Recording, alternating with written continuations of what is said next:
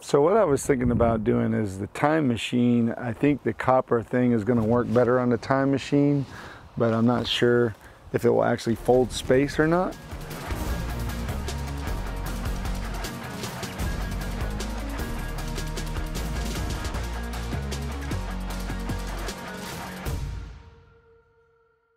Hey, today I am here with Charles Lionheart Ellis and Coy Baker. And my friend Charlie makes folders and chef's knives and Coy makes some really awesome Damascus and we're gonna come inside and show you some of this cool stuff and we're gonna work on something um, maybe all three of us just individually working on something. I don't really know. This is a day in the life and let's go have some fun. Chef's knife out of this and then whatever we have left, make a different plan for that. Okay, make one. Cool with me. I don't think we can get two out of it. All right, let's make one. You ever make an integral before? All right, well today you get to see. Me and Charlie will teach you how to make one, right? Yeah. Right? Is that the idea? Sure. This will probably be less like that, maybe more like this. This will come like this. Ooh, I want you to make me in a little integral knife. If I give you the design, do you feel like challenged to do it? That's a pretty long blade there, Charlie. I like where you're going with this. I like this. Make it like two and a half inches. That way it's legal almost anywhere. What do you think? You like it? Yeah. I like it too. We can make two of those out of this hunk. I dare you. Dare me? I dare you. Okay.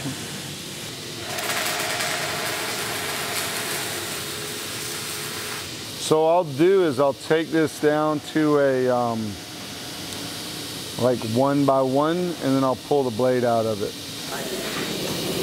All right. I'm gonna tune this thing up a little bit.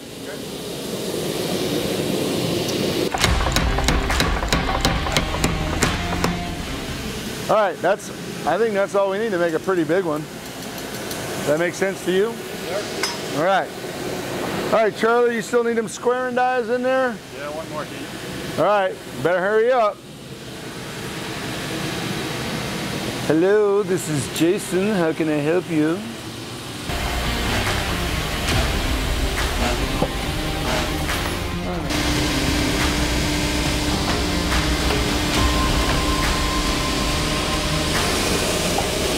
We're going to get it pointier as we work more towards the profile. So just make us a point and that's all we need. Point.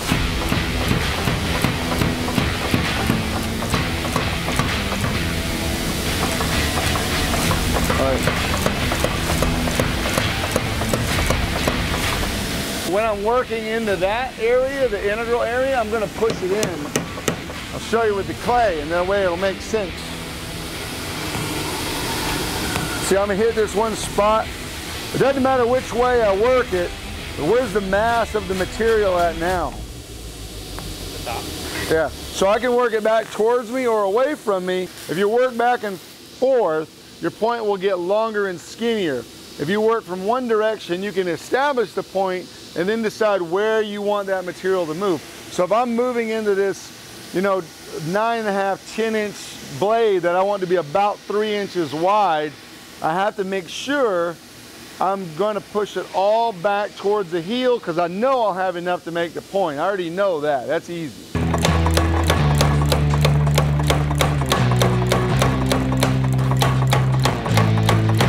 Now, I'm gonna work on that profile again. I like that you're doing them on the bias, that's kind of cool.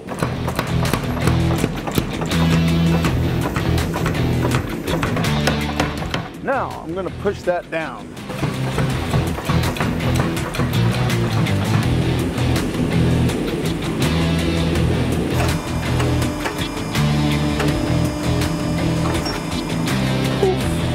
We'll keep working the profile. Making sense yet? Oh, it makes sense. Lily hammer. I like this side the best.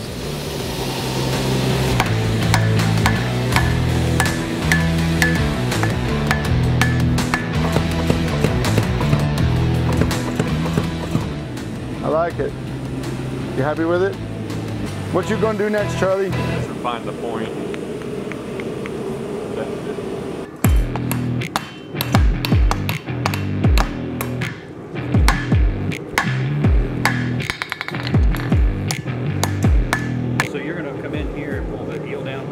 Yeah, I'm gonna bring it all this way.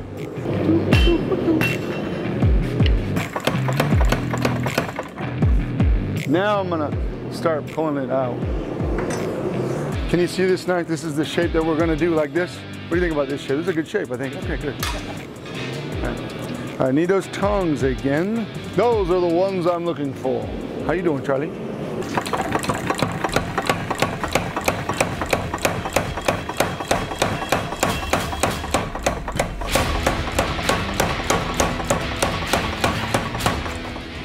Right, now I just do a little more refining because we got our thickness and our edge. Now we can kind of take it, take it a little finer. I mean, I cook, but I'm not any kind of a chef, okay? But I know if I hold the knife like this, it'll twist. If I hold it like this, it'll twist. If I hold it like this, it can't do anything except for exactly what I want. I can make nice, square, you know, 90 degree cuts on stuff. I can totally control the knife altogether whatever I want to do. So that's why I like to use that grip.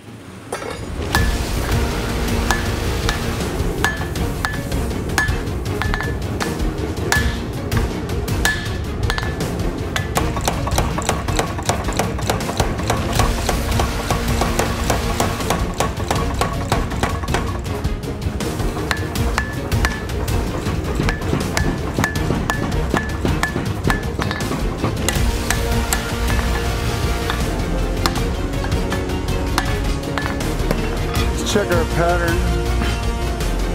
You're gonna stretch it out and pull that edge down and it'll be kind of done. I'm gonna tune this area up here real quick.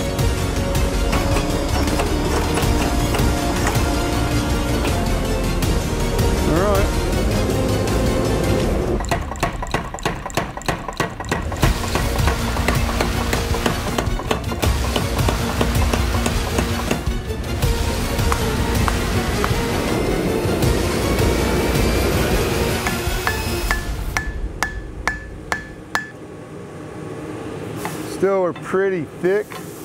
Our, our heel is right here where I want it. It's coming down below.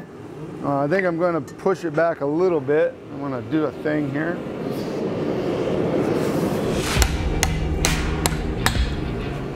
Oh, that's hot.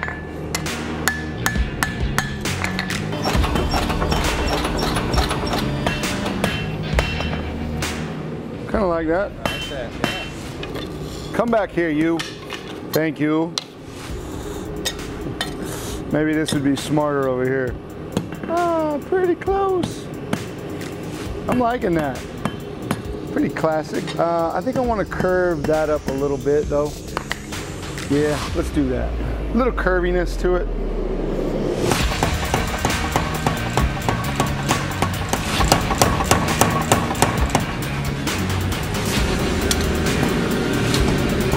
All right, I'm liking that. A little tune up and then we'll be done with that part.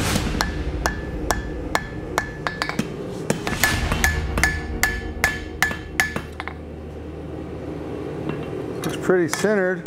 I like that. Yeah. Okay, so I'm gonna cut it off right there.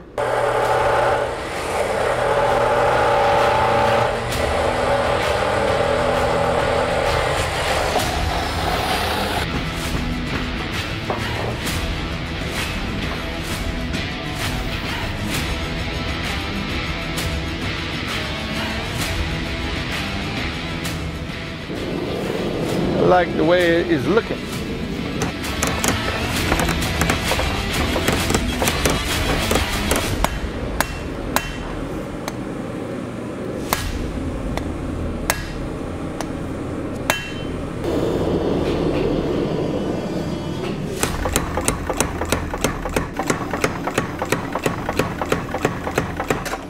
That's a nice piece of steel you made there, man.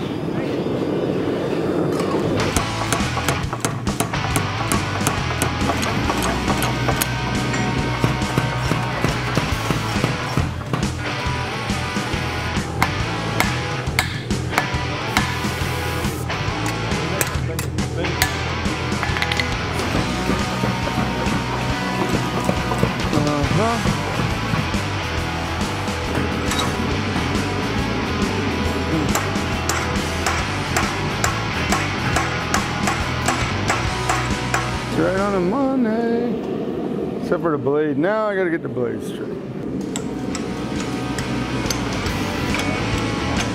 Uh, I was thinking about putting this in the press up on edge and tap, tap, try to get it Yeah? sensible.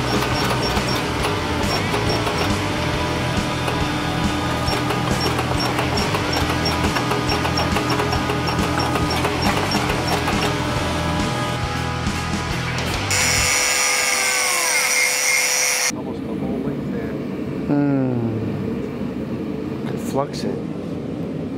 I could put flux in You know how I feel about feel about fluxing. Yeah, I feel the same way, but you know, it may work.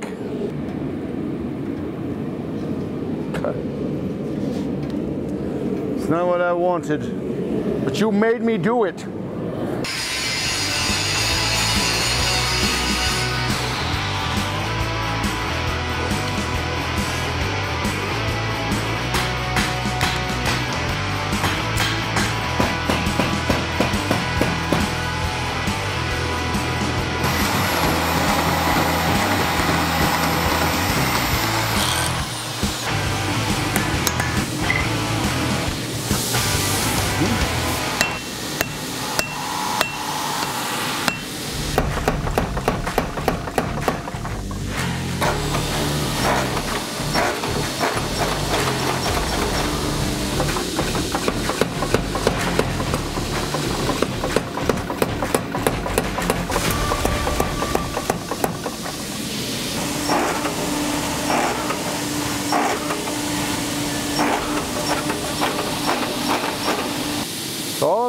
I'm doing is I'm just helping you from this way, and we're working in it like that. We're gonna start here. Ready?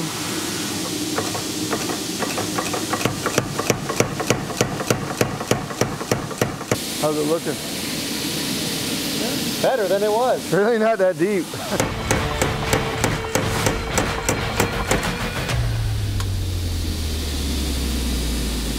kind of weird. It is looking like it's going away now. Just work on getting it straight, and I think it'll be good. Okay. Does that make sense? Yeah. Do Okay. it by clean it up by hand hammer though. Yep, yep. Clean it up by hand hammer.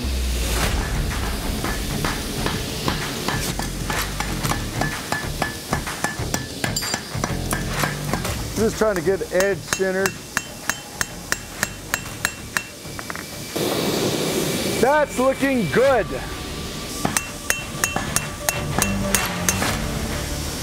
I give it a little arc on the edge is what I do.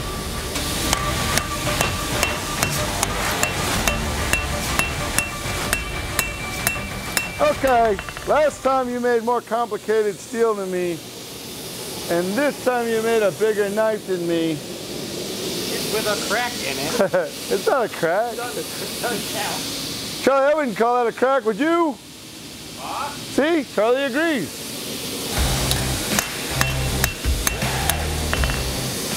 Yeah, just get it straight. Just, um, I usually squeeze it in that vise over there to get straight.